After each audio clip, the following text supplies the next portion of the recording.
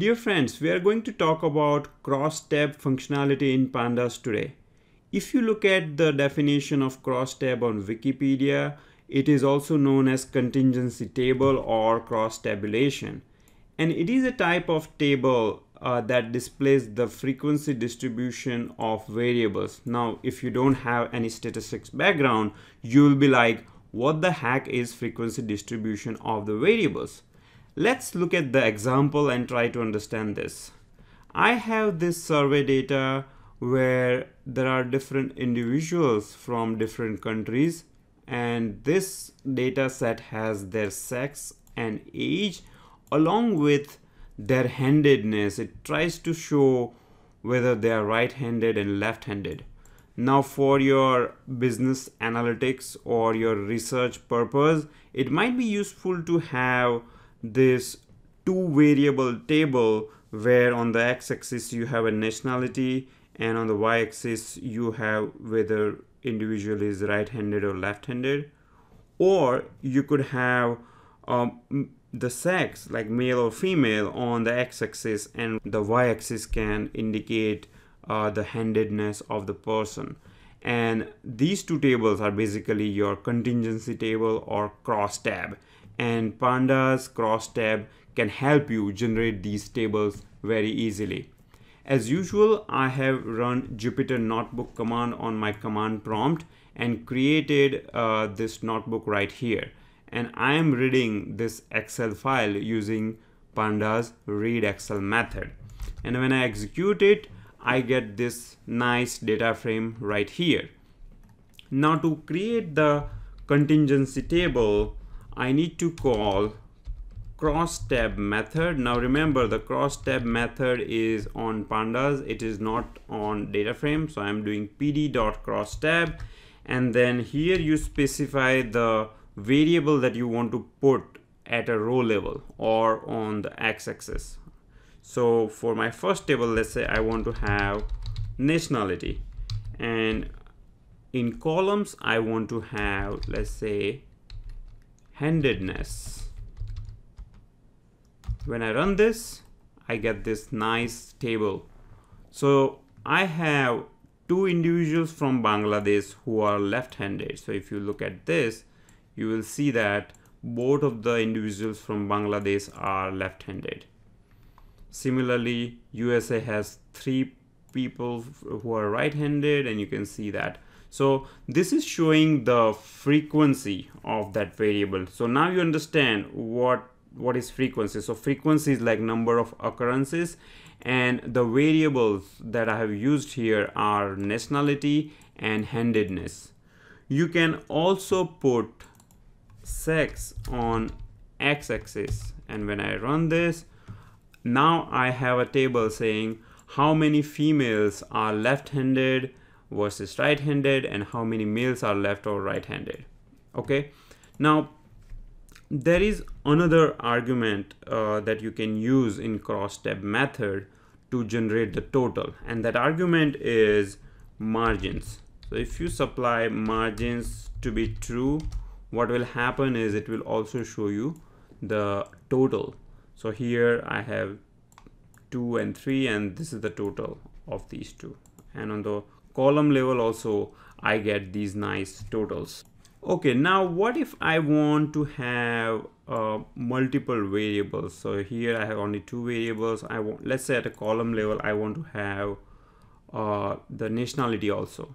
Okay, so that you can do it by passing this as an array. Okay, so here I can have df dot nationality, and when I run it, now I know how many left-handed people are from these different countries and their frequency distribution okay? You can do the same thing at x-axis so I can plot nationality at row level also by just supplying it in your array okay? So now nationality is at x-axis. So I have country and then the sex and their frequency distribution okay now let me revert this back to my original uh, data frame. Uh, here it is showing the frequency distribution. Sometimes it's good to have percentage instead. So for doing that there is one more argument. Now i'm not sure what that argument is. So i'm going to open the documentation. Now i'm going to tell you a nice shortcut in jupyter notebook. It is shift tab. So when you press press shift tab it is gonna open the documentation on that method. So here uh, cross tab has all these arguments and one of the arguments here is normalize. So if you look uh, look at the documentation of normalize it says that uh, normalize by dividing all values by the sum of values. So if you want to do a percentage at a row level you will pass the value to be index so I'm going to now supply normalize argument and the value will be index. So when I do that what I'm getting now is the percentage of uh, the individual value. Okay so let me uh, just show you uh, just to have that comparison. So I'm just going to copy this here and pass normalize to be index so here you can see that and here let me put margins just so that you get a perspective perspective. Uh, so here uh, you can see that uh, this is 40 percent this is 60 percent uh, this is uh, 71 percent and this is 28 percent. Okay now what I'm going to do is I'm going to use uh, one more column that we have in our survey data which is age. Now let's say you want to know the average age of these individuals uh, in in context of your contingency table. So let's say I have this table right here okay? And now I want to know the average age of uh, females who are left-handed. Also I want to know average age of males who are right-handed. Uh, of course in the context of the survey data that I have. So for that you can supply values arguments. You can say values is equal to df dot age. So age is your column okay? So you want to analyze these values and then the the the information that you want to get out of it is the average all right so you will say aggregate function is equal to np dot average. Now np is the numpy module so you need to import it. So I have imported it here and when I execute it now see I'm finding that uh, the average age of females who are left-handed is 44.5 okay? So if you look at all your females here uh, let me just prove that. So I am looking at all the females okay?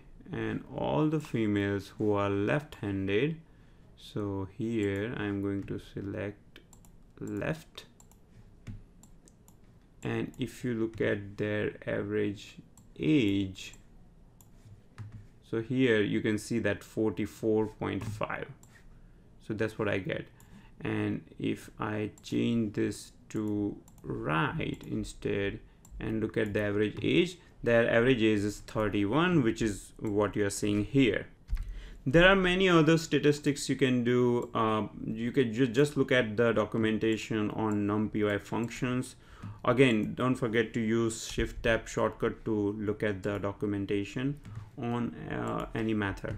All right i have provided the jupyter notebook that i have used in this tutorial in the video description below. If you like this video please give it a thumbs up comment or share and i will see you in the next tutorial. Thank you very much for watching